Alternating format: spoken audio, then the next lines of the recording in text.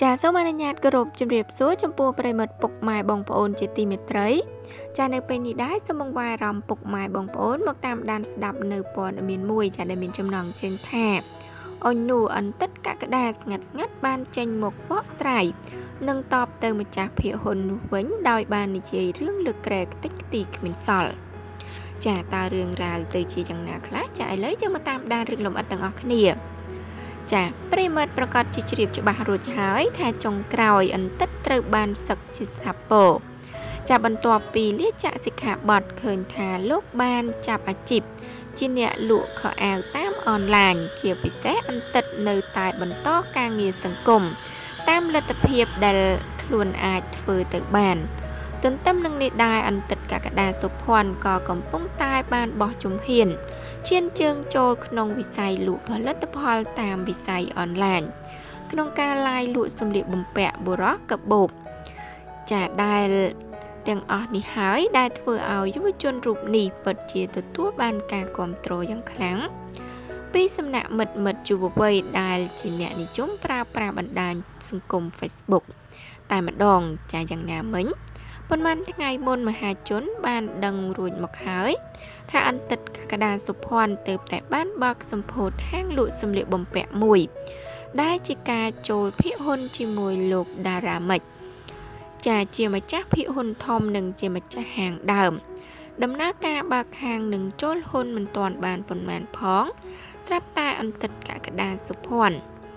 ហាក់ធ្វើឲ្យម្ចាស់ហាងដើមដែលជាម្ចាស់មានភាគហ៊ុនធំ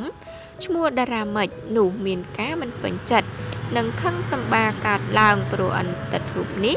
បានដើរប្រកាសនិងដាក់ឈ្មោះហាងហាក់បំពេញលើឈ្មោះដើម ដែលមានឈ្មោះស្រាប់ថា Behavior ចាទៅជាឈ្មោះកកដាសុភ័ណ្ឌ Fashion វិញចា ក្រោយដើរប្រកាសក្តាញ់ក្តែងថាហាងនោះជាហាងរបស់ខ្លួននិងទ្រាំនឹងទង្វើអន្តិតកកដាសុភ័ណ្ឌមិនបានតទៅទៀតម្ចាស់ដើមក៏បានផ្ដាច់កុងត្រាភ្លាមភ្លាមជាមួយអន្តិតរូបនេះនឹងបានចាឡើងហែកស្លាកយីហោដែលដាក់ឈ្មោះកកដាសុភ័ណ្ឌ Fashion ចោលទៀតជាមួយគ្នានោះហាក់មានការឌឺដងពីកកដាសុភ័ណ្ឌតាម Facebook ផង បានធ្វើឲ្យចំនួនរវាងពួកគេទាំងពីរហាក់ឆាប់ឆេះឡើងចាយ៉ាងណាមិញថ្ងៃនេះផងដែរអន្តិតកកដា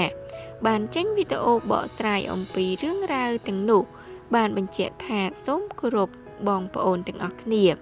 នេះជាវីដេអូបកស្រាយនិងឆ្លើយតបទៅកាន់ព័ត៌មានកន្លងអំពីខ្ញុំបាទនិងរឿងអាស្រូវដែលគេបាននិយាយផងដែរ មន់ណាក៏វិស៊ីស្រូវដែរហើយមនុស្សណាក៏មានរឿងសម្ងាត់ផ្ទាល់ខ្លួនដែរដល់យើងទៅលើកវាមកនិយាយអញ្ចឹង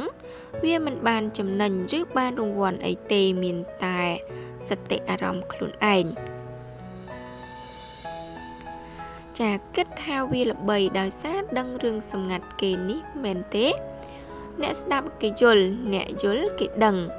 គេមិនខាតពេលមកស្ដាប់នៅអ្វីដែលមិនជាប្រយោជន៍ទេ មនុស្ស14លានអ្នកមានរឿង14លានបើអង្គុយចាំតែស្ដាប់ចាំតែដឹងតើវាចេញជាប្រយោជន៍ស្អី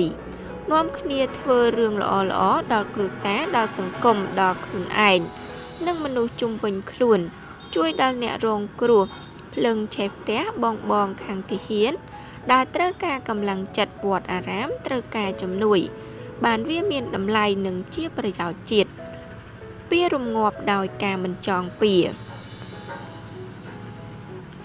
ចា៎ចឹងតេតងនឹងព័ត៌មាននេះដែរក៏សូមបញ្ចប់តែត្រឹមប៉ុណ្ណឹងចាសសូមអរគុណសម្រាប់ការតាមដានស្ដាប់របស់ពុកម៉ែបងប្អូនផងដែរចា៎